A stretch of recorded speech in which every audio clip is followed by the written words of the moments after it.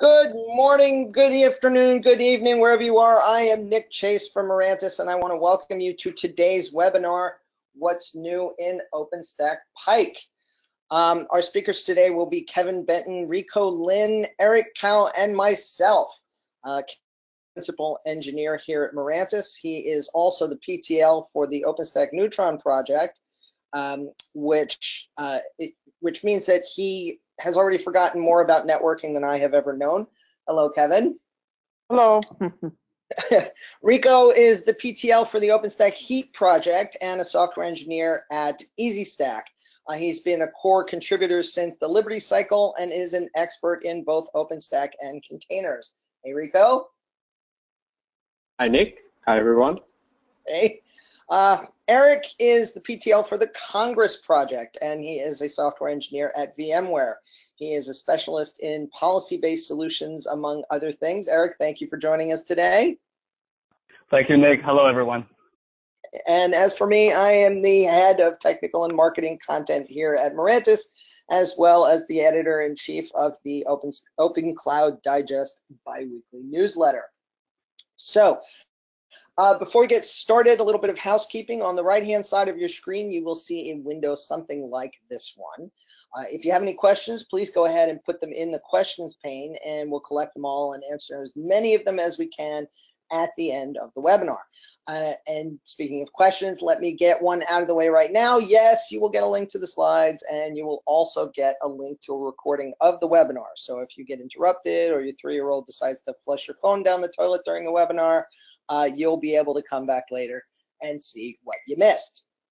Now, uh, as far as our agenda, it's pretty straightforward. We're just going to go through each project and let you know some of the highlights of what's new in uh, the OpenStack Pike release. We are not going to cover everything because there are literally thousands of changes that go into each release. But uh, as I said, we're going to hit the highlights. Now, as for which projects, you'll notice that this list is quite a bit shorter than the Ocata webinar. And this is for a couple of reasons.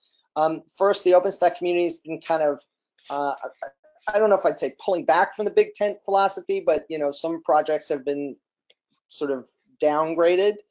Um, and uh, also, uh, you know, so we've we've kind of dropped them out of this webinar. Also, we didn't think anybody really enjoys hearing somebody speed talking about tech topics for an entire hour, so uh, we went through the OpenStack use survey, user survey and uh, chose some of the most commonly used projects to cover. Now, if we're missing your favorite, please go ahead and drop it into comments, and and uh, if we can say anything about it at the end, we we certainly will do that. So basically we're going to take turns here. I'm going to cover a few projects, then Kevin's going to talk about Neutron, and then back to me until Eric tells us what's new in Congress. Uh, oh, I'm sorry, and and uh, uh, uh Rico's going to tell us about heat, and uh, and then I'll close this out and and we'll take questions. So uh, we've got a pretty good list going here. So without further ado, let's go ahead and jump in. first off, we have the OpenStack Compute Service, or, or NOVA. Um, now, uh, the last time we talked about uh, cells v2 and, and how it was going to, it was coming up, but only in the form of single cell deployments. Now, in Pike, the default is still a single celled cluster, but uh, now you have the option of doing multiple cells. So let's take a quick moment and, and look at how all that works. So we have the uh, Nova API, and which which communicates with the API database, of course, uh, and also with Nova Scheduler uh, through the message queue.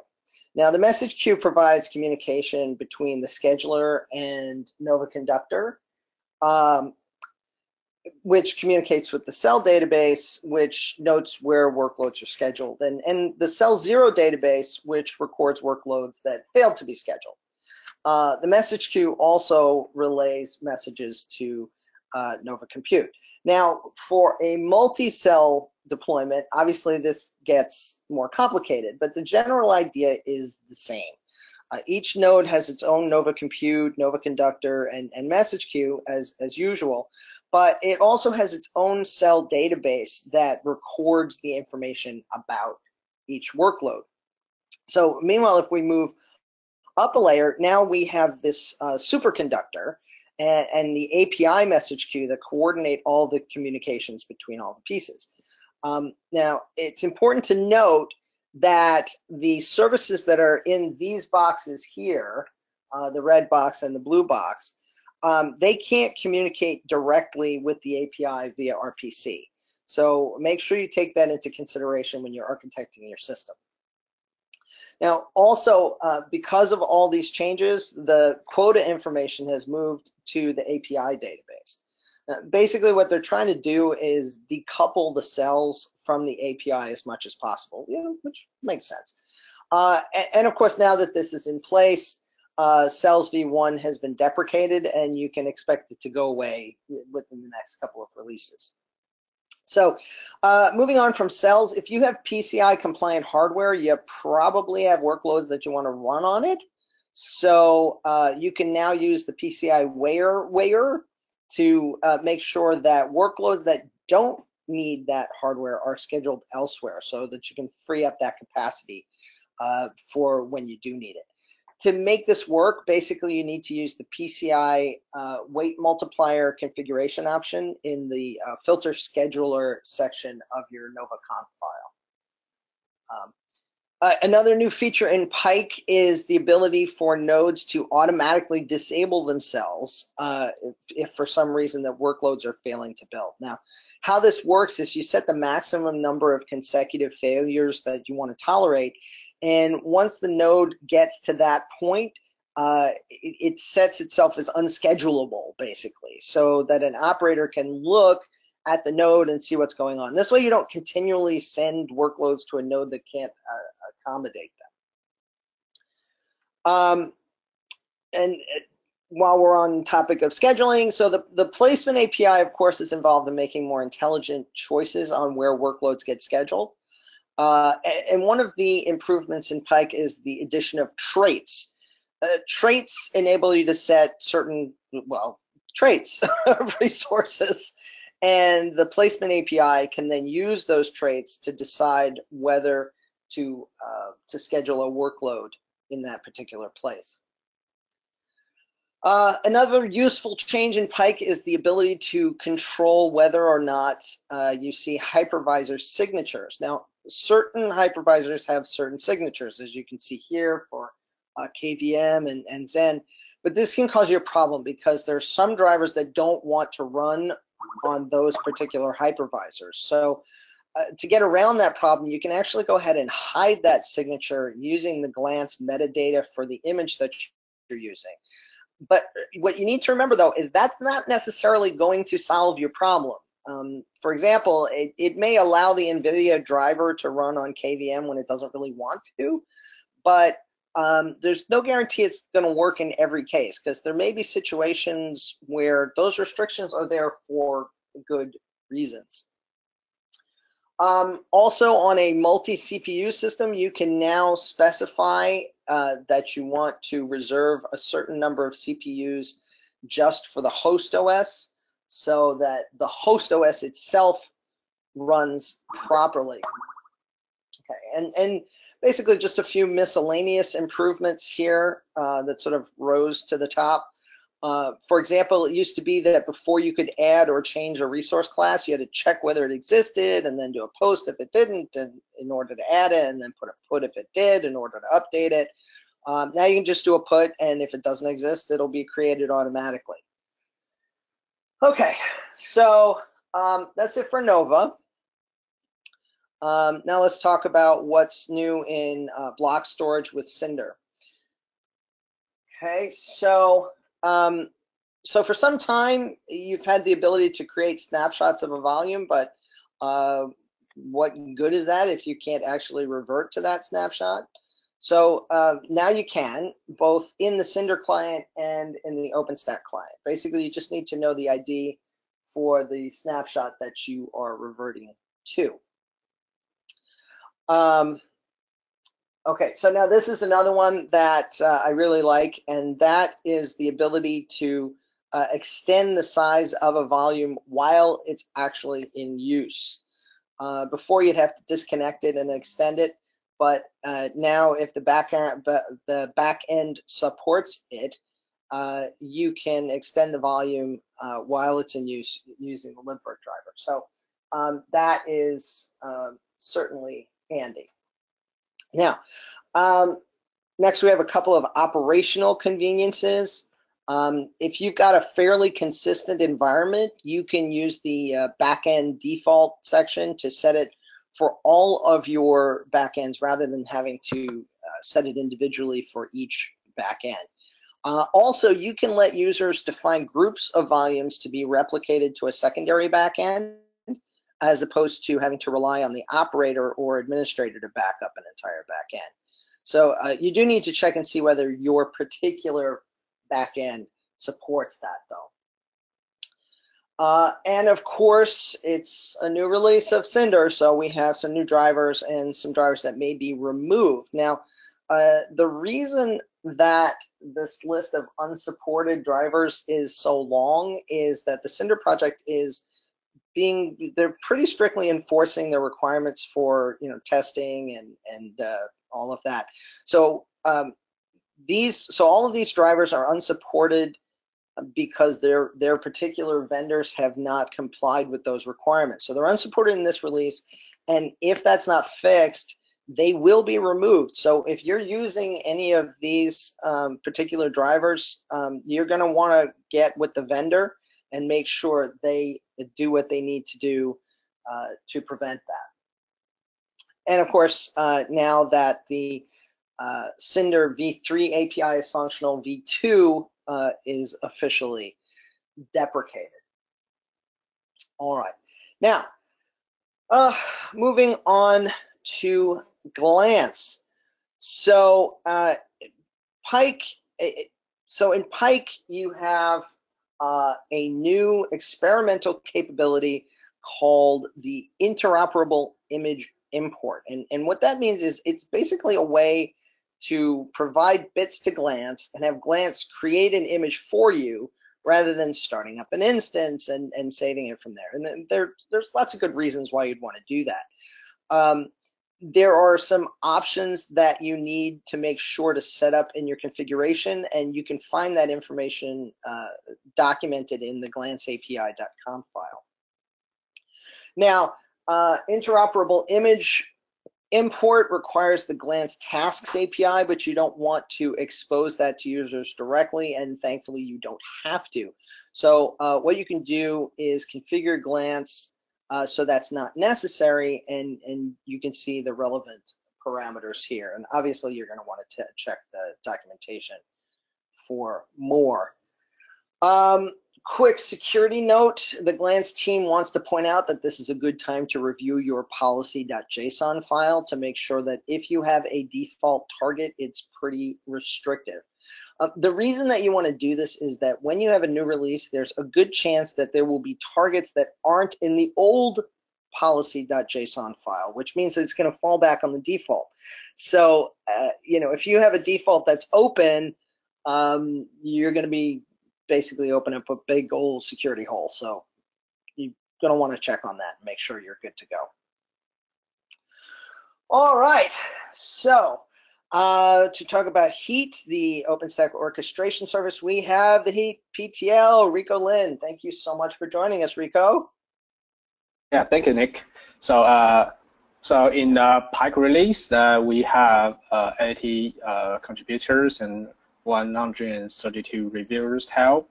And so we fixed 108 bugs and seven blueprints and a huge number of refactors and turned out that uh, we have made it uh, more stable and uh, valuable through the Pike release. Uh, this uh, this improvements has effect on the both old designs of the Heat backends and uh, as you might know that Heat has a distributed backend that we call convergence. So uh, uh, we encourage you guys to uh, anyone trying to use the the Pike uh, heat, uh, uh, I mean heat from Pike release will definitely will encourage to enable the convergence, and and and which the convergence engine was default enabled since Newton release. So for some update of new features that we have included in more uh, in more resource from uh, from Newtons that we have enabled trunk resources. And so you can do in the trunk for the networking you know it. Also that we have improved on the on the segmentations of the neutron. So you, right now you can using the heat resource, to, uh, neutron resource inside of heat template to enable the segmentations, which should be fine. And uh, for like for Magnum resources, we have like uh, we have up to date to is the new uh, capacity of the uh, cluster. So you can create a new cluster resources with uh, heat. Uh, we also have very consistent work with the Magnum team that we're trying to improve the, re, uh, the clustering resource inside of a heat structure. So uh, we will do more, we will do a lot in the Pike release, and we'll do more in the in Queens. And uh, uh, if your environment has uh, Mistral installed, it uh, uh, we have a new um, resource from uh, Mistral. is a it's actually a customized resource which implemented inside of Heat, but we're using the Mistral workflow. And so you can customize your own resource type with it, and uh, there's a consider it as a, another way that you can create your own customized resource. And this will help you to manage the workflow. When we will talk about some samples later. Uh, also, we also have the Zun uh, container resources implemented, and uh, some uh, nice function and logic that you can you can use like uh, the list concat unicorns and uh, contains. So you can use those uh, those functions inside of your heat template, which will make your uh, your heat template that we call hot. You you can uh, make the hot script like uh, more smart and easy to use. Okay, next slide. Thank you. And for what we have what we have spoke about in the in the last slide that we have a customer resource. So uh, we will do some examples here to to explain how it works. Since uh, it's kind of very interesting features that uh, that is uh, I think is quite useful. So uh, so to use these external resources, you will you can see in the in the slide that uh, you just have to uh, define it, the types inside of your uh, host script, and which you have to define the create, update, and uh, suspend, and uh, resume and delete. That's what we have support supported for now. And for those actions that you actually can define like very differently each time, so you will have uh, you will have uh, like a different behavior for, the, for this customized resource depends on what you need inside your environment. Uh, next slide. So as you can see that uh, what we named it as a Kubernetes create. And I mean, we're trying to create a Kubernetes resource. So here you have is a Kubernetes create uh, Mistral workflow. And what this workflow do is that it define the creation uh, process of your resource. So when you're when you're trying to create a, a, a heat template that uh, your and your customized resource inside, it will it will trigger the, these create flows and and trying to use these uh, procedures to create your own resource, which you define the update and delete the same way. So uh, it will it will like find out the ways that you want to delete or update your resources and, and uh, do with the uh, workflow do. And what this workflow do is that very simple. It just uh, grab the output of the stack, which trying to find a, uh, in it published to trying to find the VM's IP. And at the end that you're trying to run the SSH to, to that IP and to trying to create uh, the, the Kubernetes cluster uh, is inside of your nodes, which uh, probably very, I, I, would say is uh, very basic but useful for the Kubernetes management. Uh, so we consider this as, as a sample that uh, you can actually use in this kind of stuff, doing a lot of things And uh, uh, Mistral workflows will help you to, to uh, manage the flow processes. So it's, it's uh, very powerful. And next slide. Uh, so uh, that's another thing that we call it. Uh, we call uh, uh, converge. Uh, converge is about to get the reality of your environments. So you can use the converge flag to update the API request, and that the update actions will actually pull the resource from the services like Nova server or Cinder volume, and the update will against the reality. So the example is when you when trying to update when you're trying to update a server, I mean the Nova instances, the Nova instance, maybe you're trying to uh, update from flavor uh, one to flavor two, but the the the heat can can can find out that okay this this this Nova instance is already using the flavor two, so it will actually not doing the update of the flavor, which will, will help you to manage the resource and, and integrity of the resource. And, and the other the other thing that this is using is that when you're trying to update from the flavor one to to like uh, not change. I mean I mean trying to update other things but not the flavor. But the Nova instances will uh, the inside of heat will detect that okay uh, somebody uh, in the reality is actually update this instance to uh, flavor two. So it will help you to update back. So this is what what what uh, this is what this feature do, and uh, uh, and uh, for for a lot of things like a huge number of resource managements and to prevent other other operators trying to take over the control right of your clustering resources. This is very useful. And this is right now, this only support for APIs. You can update, you can use in update APIs and with uh, this converge flag, but we will have the uh, we will have the common support. Uh, I I believe will be in uh, will be landed in uh, early Queens. So stay tuned. So yeah, that's all I have. Thanks, guys. Great. Thank you so much, Rico. We really appreciate that. Uh, all right, so uh, let's move on to Horizon. Um, as you know, Horizon is the OpenStack dashboard, which enables you to pretty much avoid having to do things on the command line. Uh, but for lots of people, Horizon is also a great place to get the uh, OpenRC file, which is a file of environment variables that lets you easily configure the OpenStack client. Um, of course, now the community is moving towards the unified OpenStack client, which has its own config file, which is the uh, clouds.yaml file. Uh, and in Pike, you can now download that from the same screen as uh, the uh, OpenRC file.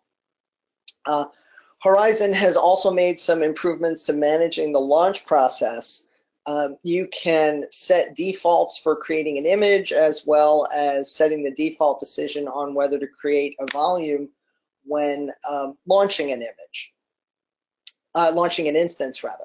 Uh, also, one more thing to note, as of Pike, the ability to edit flavors using Horizon is disabled by default. Uh, you can go ahead and re-enable it, but keep in mind that it's deprecated and it will be removed in the R cycle. Um, another usability change here, if you are not using a public cloud, you can go ahead and specify um, the, uh, the, the different domains that should appear in a pull down uh, when the user is logging into Horizon. Well, I mean, well, you can do it for a public cloud too, but that is a terrible idea because it's a huge security risk. So don't do that. Um, finally, uh, we're getting a lot more uh, control over port security in Pike, uh, at, at, or at least the ability to edit it uh, via Horizon. Um, first off, when you're creating security rules, you can now set any port and any protocol, which is, is convenient. Um, you can also associate a security group with a specific port rather than uh, an instance. And uh, also in line with Neutron's push to make networking easier, you can also create and delete ports right in the Horizon interface uh, and turn their security on and off. Um, just keep in mind that you can only disable security on a port if it doesn't have any security groups currently assigned to it. Okay, so uh, that's it for Horizon. Uh, really just kind of a couple of quick notes on Keystone. Uh, the Keystone project has uh, been working on including default policies in code, which means that um, you don't have to worry about managing so many different parameters in your configuration. Basically, you can still override them by setting them explicitly, uh, but if they're not there, Keystone will just you know fall back on the default. Uh, also, they've uh, been working on improving security and testing this go around. Uh, you know, for example, they're using a more secure hashing mechanism on uh, the SQL back end. Okay, so that is it for Keystone. Um, now let's hear about what's new in Neutron from Kevin. Kevin, thanks for joining us. Hey, thanks for having me. Um, yeah, so so starting out, I'll start with the kind of an easy change here. Uh, like most of the other services in OpenStack, Neutron has support for setting limits on how many resources a particular project uh, might consume. You know, you might set limits for this project can have two networks, 10 floating IPs, etc. Um, so the main limitation with the Quota API was that you could get the limits for a given tenant, but you couldn't tell how many resources were actually in use by that tenant. The only way to do that was to list all the resources and then kind of manually count the results yourself. So this wasted a whole bunch of API calls because if you wanted to see all the resources a specific tenant had, you had to do X number of listing calls uh, for each resource type. And this wastes a lot of computation on the server side too. So starting in Pike, we have a new quota details API where um, you can get the limits and how many uh, how many items are in use in, out of the limit and that kind of stuff. And you can see that in the in the slide here. The detail API is on the right there, and then the old regular API is on the left.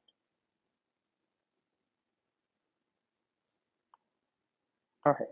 Uh, next here we have the uh, support for setting uh, DNS domains on individual Neutron ports.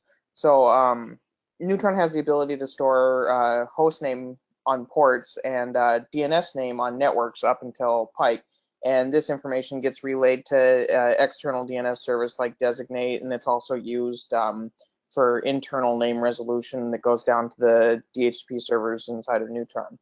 Um, uh, until Pike limitation was that all the ports that are on a given network had to be part of the same, uh, they all had to be part of the same domain. And this was pretty limiting because you might have a whole bunch of web servers on a single network that all have different domains. So um, during Pike, we added the ability to set a domain name on each individual port. So each port on a network can have its own custom complete DNS name. Um, a, quite a bit of effort was spent in the probably like the Newton Newton Mitaka timeframe to get all the MTU calculations correct inside a Neutron, make sure um, all the all the agents were setting it correctly, that kind of stuff. Um, however, this MTU value is coming from a global configuration. Uh, this this works fine for most cases, but there's scenarios where operators want to have large MTUs by default across all the networks, but then they might have a particular network that's uh, um, constantly communicating with other devices on other small MTU networks, and they don't want the difference to happen between the two because then you have these MTU path discovery problems. So in Pike, you now have the ability to set an MTU override for a given network. You can turn it down. Um, for user user facing features interacting with the API, in addition to that quota quota change, um, we expanded the uh, expanded the tags feature to um, uh, several other resources. So Neutron has this feature where users can add tags to the resources. They're just simple strings. They don't affect the behavior of Neutron or how traffic flows or anything like that. They, they might add like a production tag to one network or um, maybe another tag that indicates that, hey, all traffic on this network should be um, development only, that kind of stuff.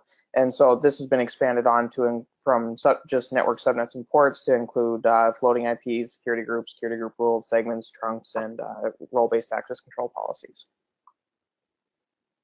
Um, there's uh, several DVR improvements that happened during this cycle. Um, uh, one of the main things is DVR now has the option to allow the centralized network node to handle floating IP translations for certain types of traffic.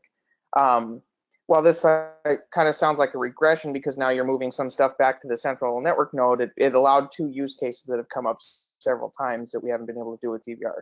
Uh, first, it allows uh, uh, virtual router redundancy protocol scenarios, so where two VMs are uh, offering high availability to a single IP address.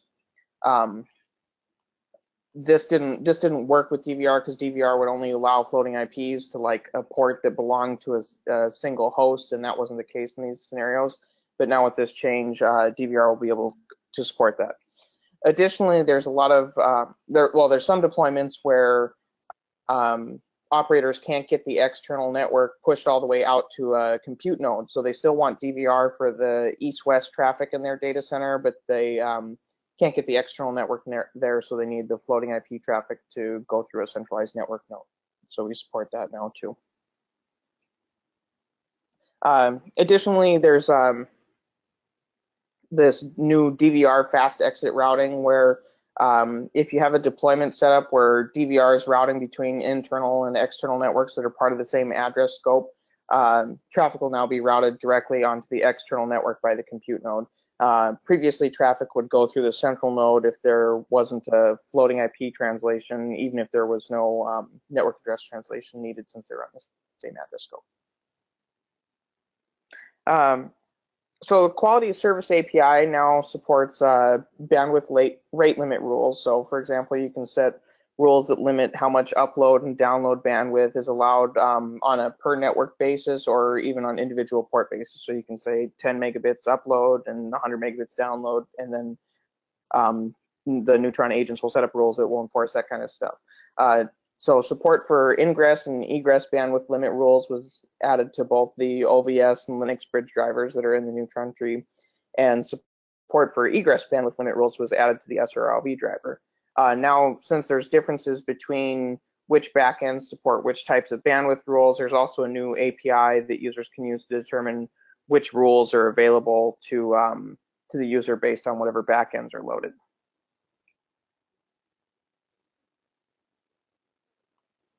Okay, uh, next slide. Hang on a second, I seem to be, there we go. Okay. Yeah, so um, we now have a, a, rolling upgrade support from in the Ocata to Pike upgrade. So that means that you can leave the um, leave the Ocata Neutron servers running, do the database expansion, start bringing online Pike Neutron servers, add them to a load balancer pool, and then once you have Pike servers online, then you can shut down the Ocata servers. So you can have zero downtime upgrades now uh, with with Neutron. Um, Python Python 3 support. Uh, uh, we worked through um, all the I thought all the Python 3 bugs we could find uh, during the cycle, um, but it's still very new and it doesn't have the same test coverage quite yet as uh, Python 2. So if you want to use it, um, it should work, but you know, adopt it with caution. Um, and then uh, if you're using routed networks, the DHCP agent now supports um, serving remote uh, remote DHCP requests that are coming from other segments of a routed network. So this allows operators to use um, use DHCP relay and avoid setting up DHCP servers on every single uh, routed segment in the routed segment deployment topology. Um, so there's kind of several uh, high, high level improvements to stability and performance. Um, the OVS the OVS communication pattern, the OVS agent communication pattern between the the server and the agent's been improved to where whenever there's like a network update or port update, all that information that's relevant to that is pushed out as part of the update, so the OVS agent doesn't have to turn around and uh, pull the server again. And so this uh, makes the load a lot more consistent on the Neutron servers. Um, lots of fixes went into the OVS uh, flow-based firewall that was new new during the Ocata cycle. So it's becoming a pretty stable alternative now to the IP tables-based firewall, which will offer um, um, much better performance than the IP tables one if you need uh, very high bandwidth uh, applications. Um, additionally, the uh, we swapped out um, the Neutron uh, Python-based namespace proxy to use uh, HA proxy instead, and this uh, significantly significantly reduces the memory footprint of the um, of the metadata agent that's running on uh, network node or compute node or wherever you have it. And then uh, finally, we have this. We have a new um, uh, compare and swap feature that was added to the Neutron API. So if you have an external service uh, like Heat, for example, or any other kind of external orchestration service that's trying to um, update a Neutron resource um, from one state to another state, it can set these conditional uh, parameters to make sure that there wasn't another update that happened at the same time that beat it. Okay.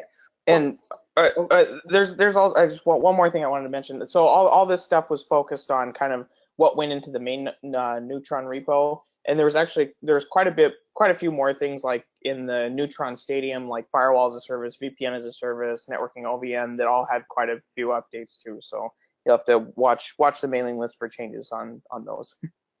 Great. Okay.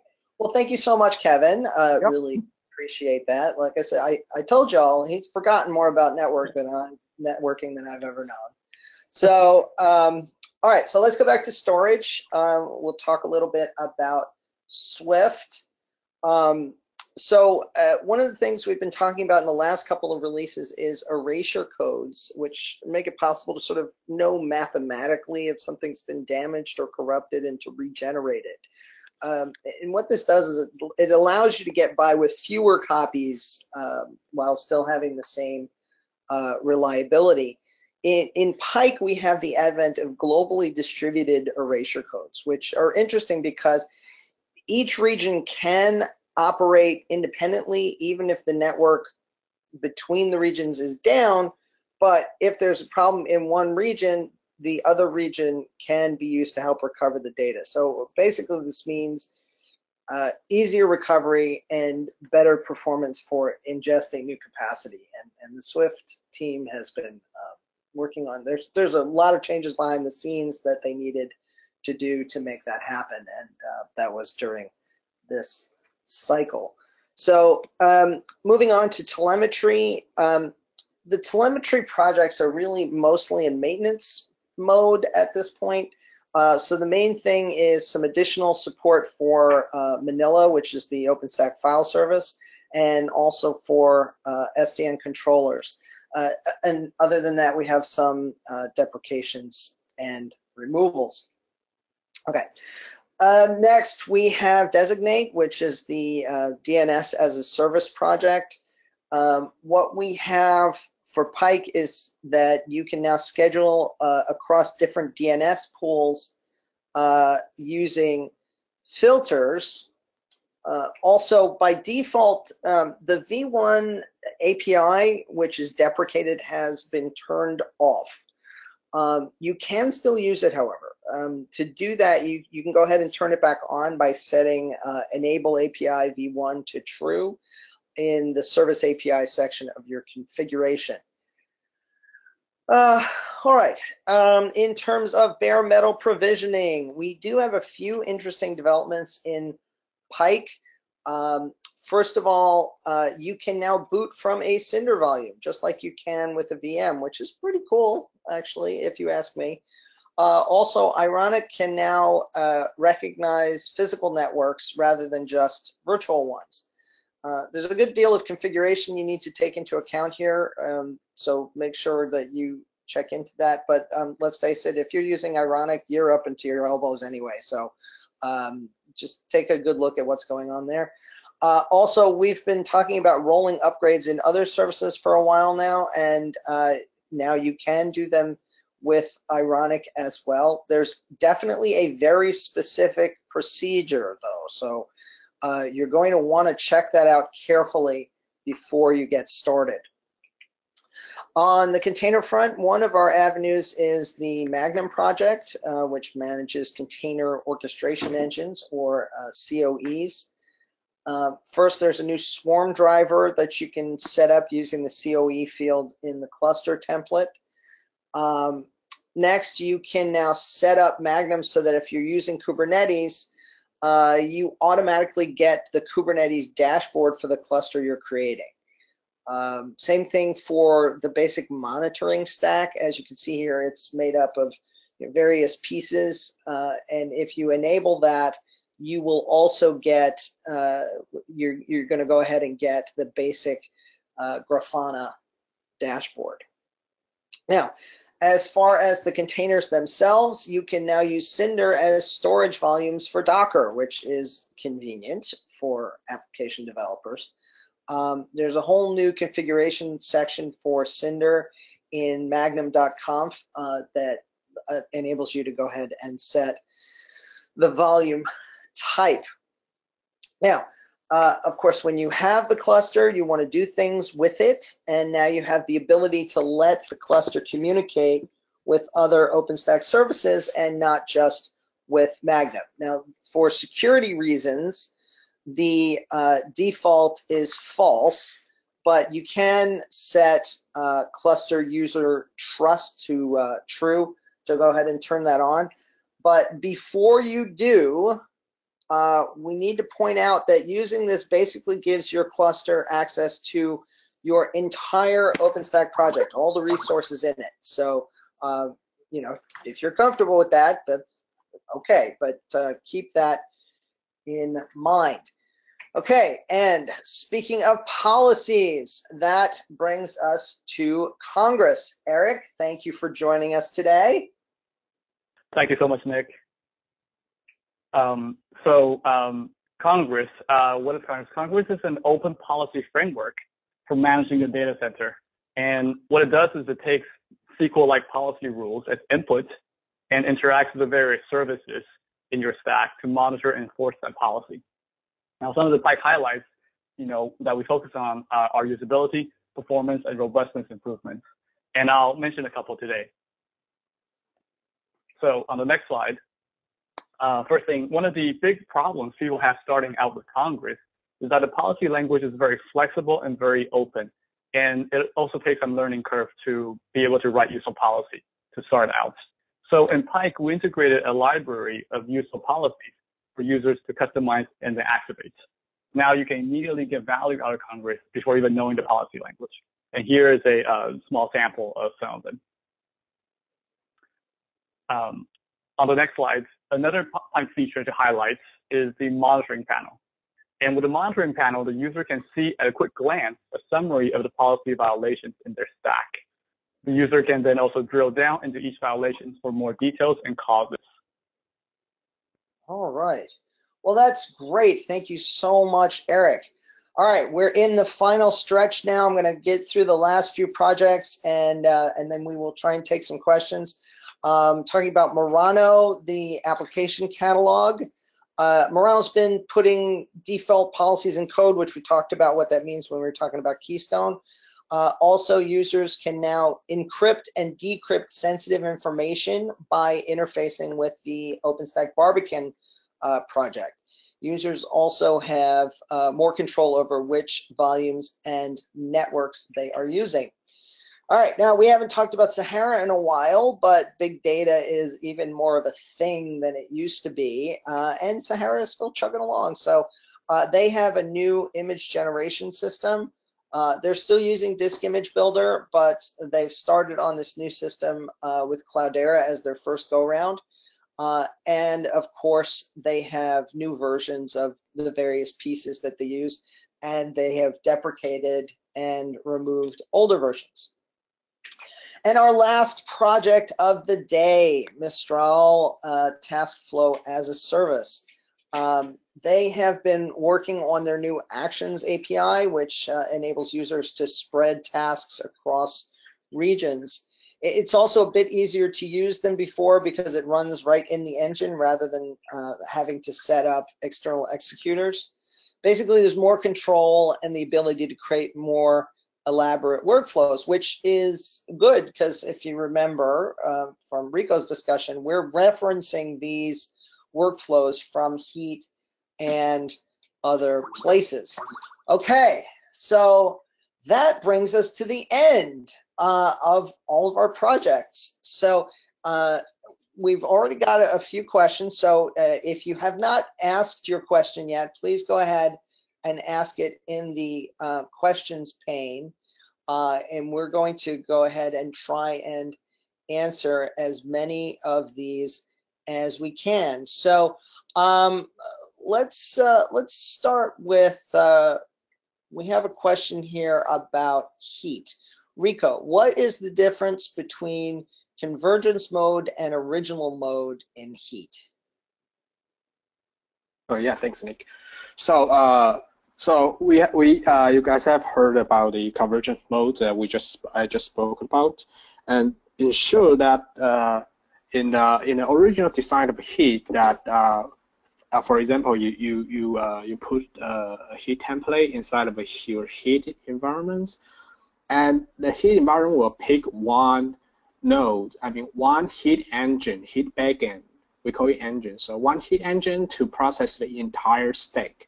I mean the entire template into a stack that contains all your resources, and it just we just use that that engines to to process entirely. Of course, that you can have like, for example, like five users to to operate together and and create five different stack, and they will use five different uh, engines, but they still not smart enough.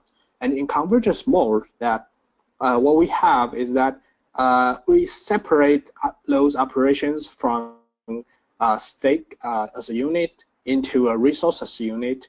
So your your environment right now, if you enable it, uh, if you enable the convergence mode, uh, it will it will like it will separate the operation into resources. So, like for example, if you have uh, five you have five engine uh, heat engine services inside of your environment, and it will it will allow you to create five resources at the same time so think about that entirely. It will cut the uh, creation times or operation time of any uh, any resource actions to to like show like a lot of uh, swing down. So it will it will help a lot of in uh, in uh, in your uh, performance, also in uh, in uh, stable stabilized things that you you you only you only need like short times to to create entirely.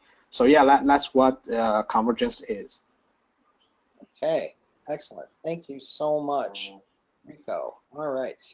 Um, Eric, uh, what advantages does Congress offer beyond policies encapsulated in each individual service? Right. So uh, all these services in OpenStack have, you know, their own individual policies that uh, govern their behavior. And so, what does Congress offer beyond that? Well, uh, one question, is, uh, one answer is that it supports policy that needs to span multiple services. For example, if you guys look at uh, slide 64, there's an example there of, uh, let's say you want to say that servers with unencrypted storage must have strict networking isolation. So that spans, you know, a storage service and networking service. And you could, there might be, you might be, you might want to make policy decisions based on any combinations of things, storage, network, uh, what VM image you're using, some other kind of threat monitoring service, for example. And it's really hard to do uh, within each individual service silo. So that's something Congress offers. And then um, something else that comes with it is that you get a unified policy formalism and repository for governing behavior that you can go and look at.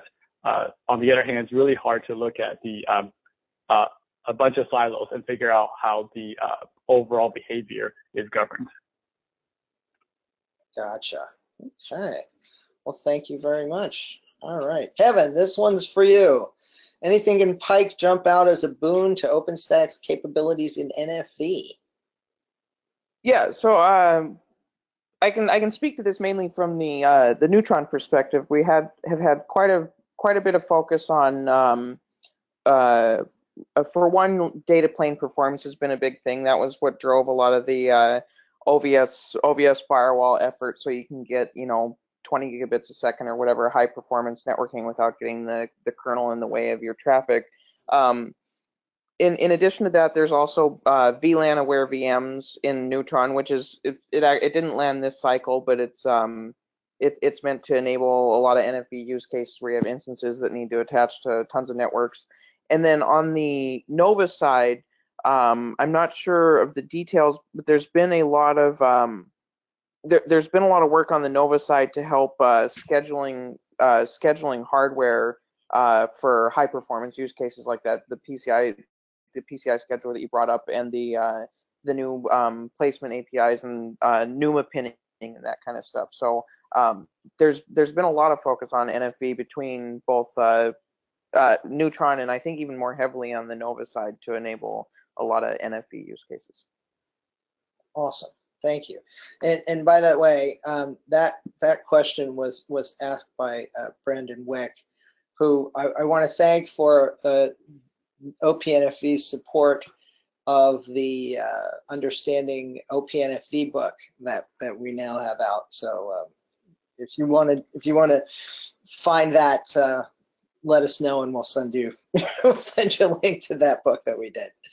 Um, all right, let's see here. So while we're on the topic of NFV, um, so Kevin, um, would you say that uh, those features that you were just talking uh, are enhancements for onboarding of um, uh, VNFs? Um, so I, I guess it in in this context, uh, onboarding VNFs. Well, yeah, if, if um, get, getting the performance guarantees that are required, it helps in in that regard. Um, I'm not sure exactly what you mean by onboarding. If if he's talking about more man, managing or uh, bringing bringing in legacy systems, um, I don't know if there's any features that are specific to that. Mm. Yeah, well, I, I, think it, yeah, it's mainly just that you can you can now have a lot better hardware and performance guarantees. Um, if that answers the question, I'm not sure if it quite gets what they're looking for. okay, well, well we'll do the best we can. All right, um, let's see here. Uh, are there any changes in Manila? Yeah, actually, there were a ton of uh, changes in Manila. Um, let me see if I can kind of rattle off some of them. Um, there's uh, they they worked on the uh, consistent snapshot uh, code for the NetApp driver. Um, the NetApp ONTAP driver um, was fixed um, so that uh, the security style is always NTFS. Um, there's a new EMC entity plugin, uh, Unity EMC Unity plugin um, so you can create a, an NFS, CIFS share uh, with a Unity backend. Uh, you can filter shares and share instances uh, with the export location ID or the path. Uh, let's see. So there's there's a bunch. Um, the best place to go. Um, there's there's a like filter support and shares, snapshots, uh, share networks, share groups, uh, there's the best place to find the sort of raw changes is, is in the release notes. Um, but those are some of the things that uh, have kind of jumped out at me, um, including uh, also validation of IP6 based addresses. So um, let's see. So that's what kind of jumps out at me on that. Uh, Rico, do you know why OpenStack recently removed apps.openstack.org? Now I have some thoughts on that. I don't know what I want yeah. to say about it, but yeah, I think I, I think I do, but maybe uh, since Mirantis has most active actions uh, around that, maybe you guys have something to update as well.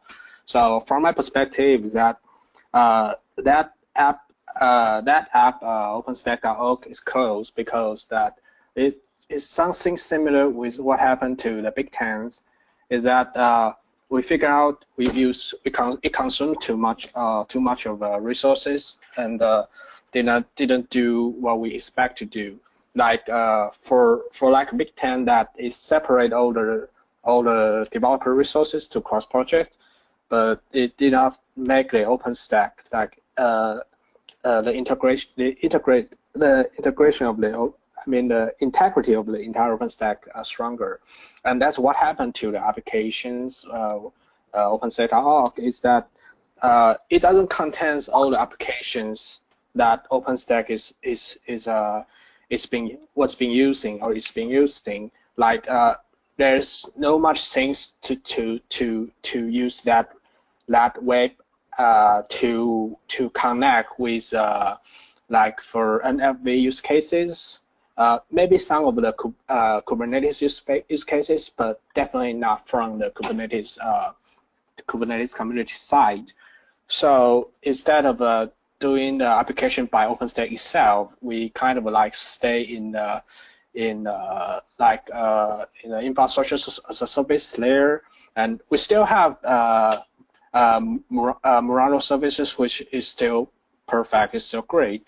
But instead, we have some we have some uh, concept like uh, open source. So you have the uh, open source day in the in the summit that we're trying to leverage the entire resource of the, our community. That that's why. That, there's nothing wrong with doing applications in OpenStack. Just maybe not the main focus for the OpenStack community. So uh, maybe something from the Mirantis side. I don't know. no, I think I think you pretty much summed it up. I mean, it. One thing that the that the OpenStack community has uh, has been I, I, would say criticized for, but one thing that's been talked about is, oh, you know, it's too unfocused and, you know, there's too much going on. And I think that one of the things that uh, the community has been doing in the last, you know, six to 12 months is look, taking a hard look at everything and going, all right, now, what do we really want to be working on? And um, the, the app catalog was, um, you know, a great thing, uh, but it just was decided that it was taking more resources than it was, you know, felt to be uh, returning. So um, the application catalog is still a great thing. And if anybody wants to do one, I'm sure that uh, they could, but it's just not something that the foundation wanted to continue. That's all. All right, uh, we are out of time. So um, first off, I want to thank all of you who joined us here today. Um, both in the audience and also our panelists. Uh, so I want to thank Rico Lin, Eric Kao, and Kevin Benton, are, are my, my esteemed colleague here. And always, always, always, we want to thank Michelle Yakura um, for um, handling things on the back end because without her, we would never get any of this done. So, and uh, thank you all for joining us. And uh, we will see you in six months. Thank you. Thanks. Thanks, everyone.